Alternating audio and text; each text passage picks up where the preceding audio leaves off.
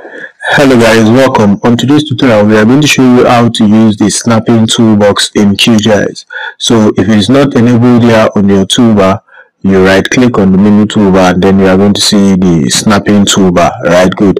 So now on the snapping toolbar, how do you use it? When you have um, when you have digitized some polygons that are supposed to be um, sharing boundaries and then along the line you see that there are some spaces in between them right? Good. So the snapping toolbox will help you to eliminate those spaces and how do you do that? That's what we are going to demonstrate on today's tutorial. So you enable the so you enable the snapping tool and then when you do that you click on all layers and then you open the snapping options now when you open the snapping options you have the project snapping settings right? Good. So under this drop down you select the vertex and the segment. So what this simply means is that when you have started the editing mode and then we have those vertices and those segments they should be able to work to overlap right? Good. So we are going to leave this option as default as it is. That's the tolerance.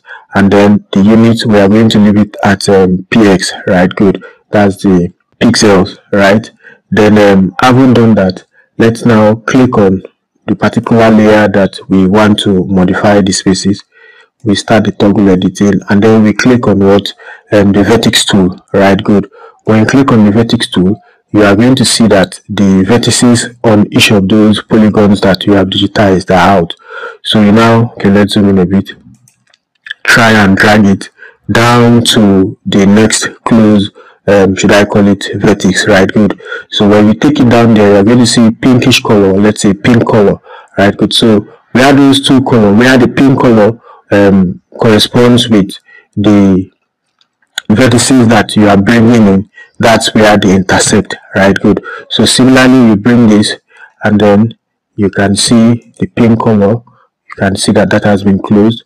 We can decide to also take this and then maybe cover it up here right good. So okay there is still a little space here we can decide to maybe take it up from there and then cover it. Right good. So what we are trying to achieve is that we are trying to reduce or remove the spaces in between these polygons. So whenever you're doing it you should ensure that you do not um, completely move the boundary. Right good. But you try your best to make sure that the spaces that were generated or the spaces that were gotten due to maybe some errors in the digitizing process are what are minimized or removed.